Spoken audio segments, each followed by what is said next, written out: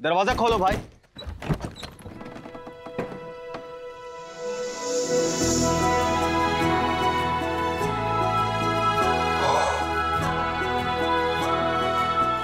कितनी खुशी हो रही है भाई। मैं बता नहीं सकता। काश इस जनगणना की मजबूरी ना होती तो तो हम लोग भी आपके साथ होते। तुम साथ नहीं थे भाई। मगर तुम्हारी दुआएँ तो हमारे साथ थी। बधाई हो भाई। बेटी हुई है। बेटा। ओह। तो आ गया हमारा चिराग। स्वागत है तुम्हारा। यीशु। यीशु नाम रखा है। कितना सुंदर नाम है ना। आइए ना आप लोग अंदर आइए। हाँ आ जाओ। मैरी आओ।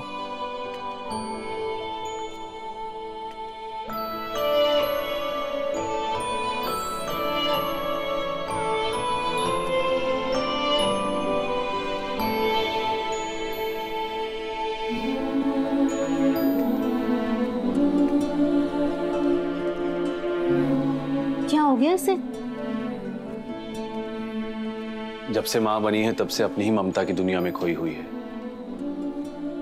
इतनी जल्दी यीशु इसकी दुनिया बन गया। भाई आप समझ सकते हैं। और फिर इतने लंबे सफ़र की थकान भी तो होगी ना। लेकिन मैंने इतनी सारी तैयारियाँ की थी। मैरी और बच्चे के लिए मैंने अपने हाथों से घर को सजाया था। और मैरी ने एक बार देखा तक नहीं। रहने देनो मारिया। यीशु और भाभी को आराम करने दो। हम शाम को जश्न मनाएँगे। क्यों भैया?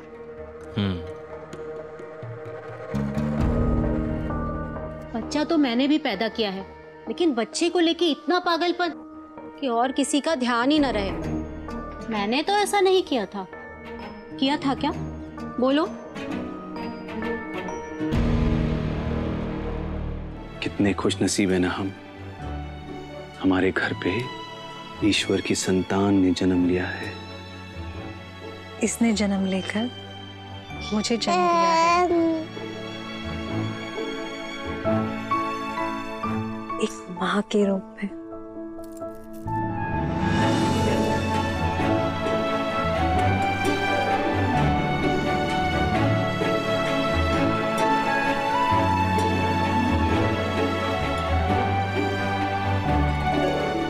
इतनी मुसीबतों का सामना करने के बाद तुम अपने घर आई हो। तुम दोनों को एक साथ देखकर ऐसा लग रहा है कि अब सब कुछ ठीक होगा। हम यीशु पर कभी कोई मुसीबत नहीं आने देंगे।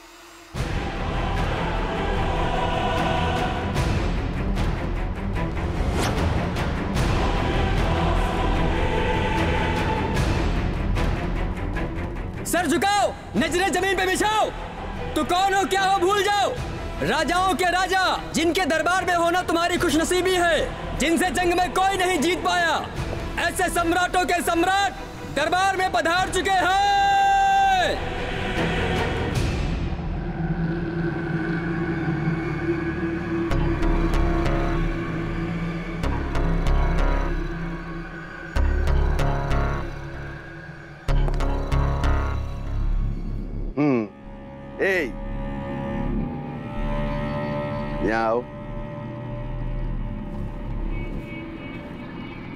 सम्राट। हमारे पैर में जूती पहनाओ। चलो। जी सम्राट।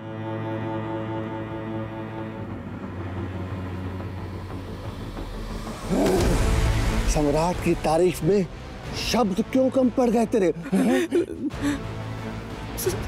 सम्राट माफ़ी। तू एक काम कर। तू मेरे दूसरे पैर में जूती पहना। आज तेरा काम मैं किए देता हूँ?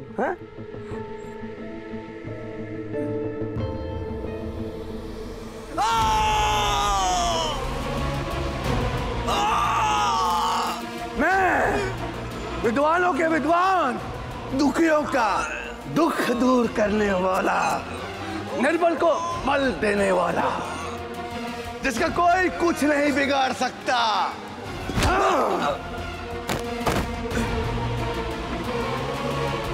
वो वो महान सम्राट हेरोड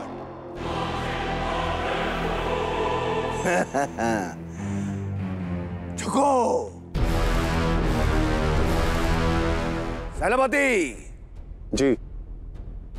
गृह मंत्री व्यापार मंडल का मुखिया और ज्योतिषाचार्य।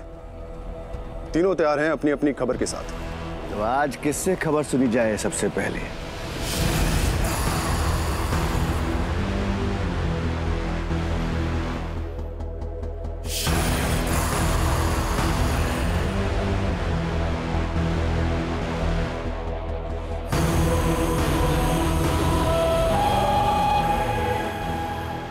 जहाँ सारा संसार यीशु के जन्म से खुश है,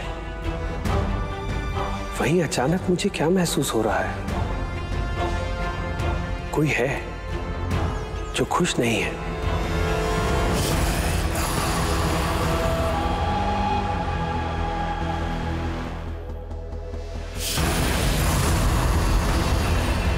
पहले ज्योतिषी को बुला। ज्योतिषी क्या बोलते हैं सितारे? आज का दिन हमारे लिए कैसा रहेगा?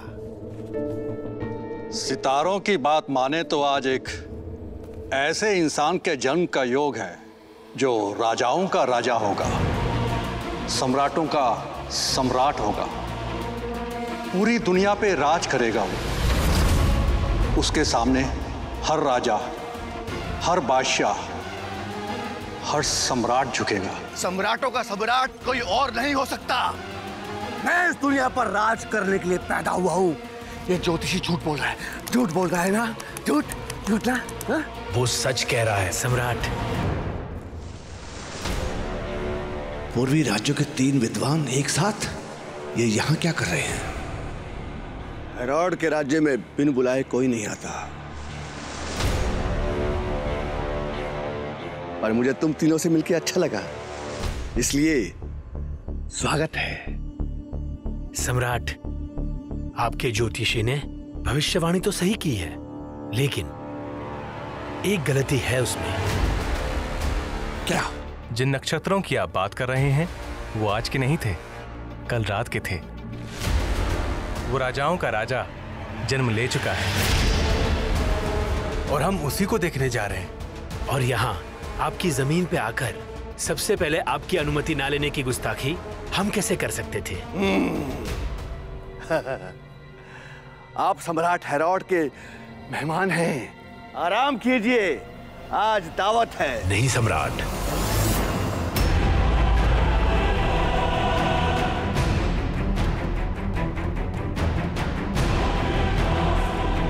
सम्राट हम जिसके दर्शन के लिए आए हैं पहले उससे मिलना चाहते हैं। उसके बाद ही आराम कर पाएँगे। ऐसा बिल्कुल नहीं है। आपकी मेहमान नवाजी का मान है हमें।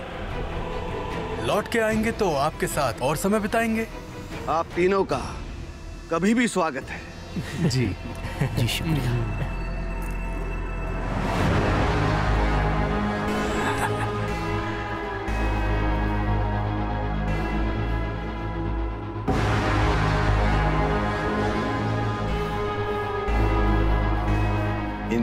इन तीनों का पीछा करो। पता करो कि बच्चा कौन है। कहाँ है? जाओ।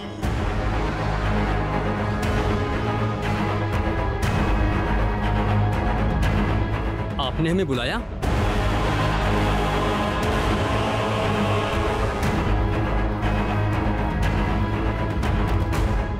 ये वस्त्र लो। वेश बदलो और उनका पीछा करो। जी।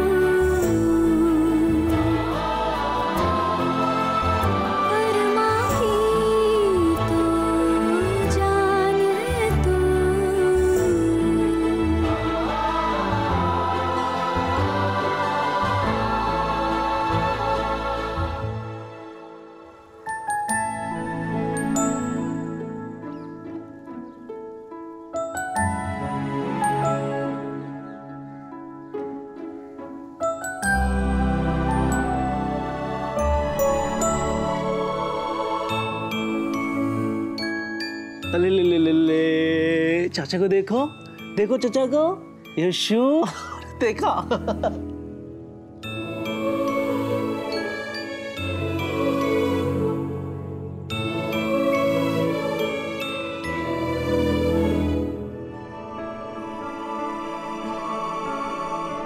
मेरा प्यारा बेटा यशु।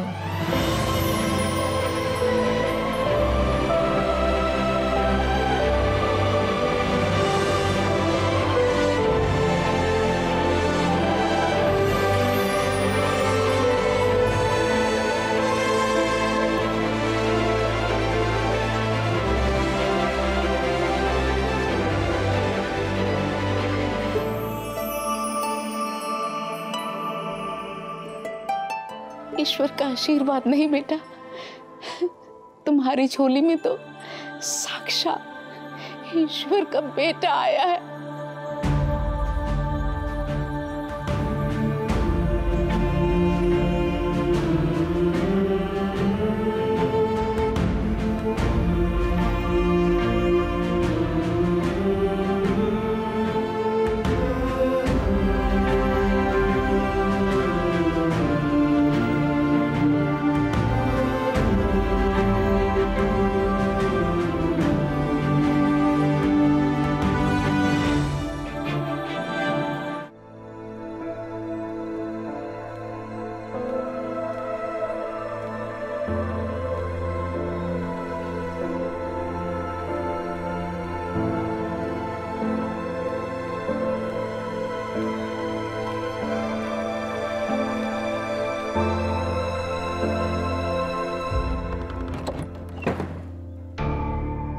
पता नहीं इस घर में चल क्या रहा है। पहले माँ बेटा कमरे में बंद रहते थे और अब ये माँ बेटी। मैरी का पूरा का पूरा खानदान इतना अजीब सा क्यों है? मुझे क्या करना? अभी कल ही की बात। जब देवदूत ने मुझे बताया था कि तुम मुझसे जन्म लोगी और इस जन्म का उद्देश्य बहुत बड़ा होगा।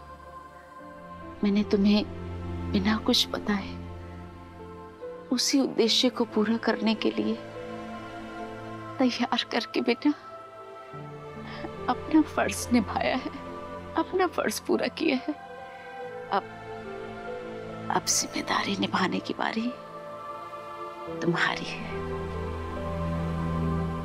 इसी बात की तो फ़िक्र हो रही है माँ मुझे। फ़िक्र?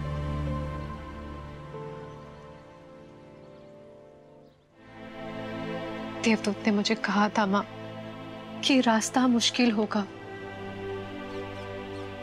और मुझे भी पूरा विश्वास है कि मैं अपने बच्चे को हर हाल में, हर मुश्किलों से बचा लूँगी। चाहे इसके लिए मुझे उसके साथ हमेशा क्यों ना रहना पड़े। लेकिन माँ, अगर ये ज़िम्मेदारी निभाने में मैं चूक गई तो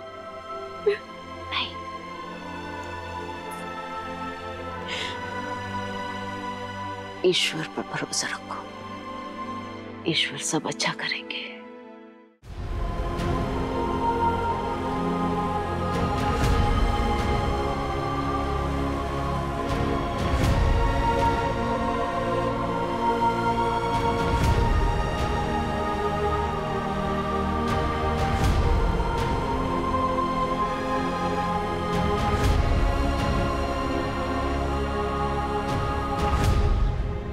हमारे अच्छे कर्म ही तो हैं। जिस मिट्टी में उस मसीहा ने जन्म लिया है उसी मिट्टी पर हमें माथा रखने का मौका मिल रहा है। लेकिन उसे ढूंढेंगे कैसे? जो हमें यहाँ तक ले आया है वही मंजिल तक भी पहुंचाएगा। हाँ।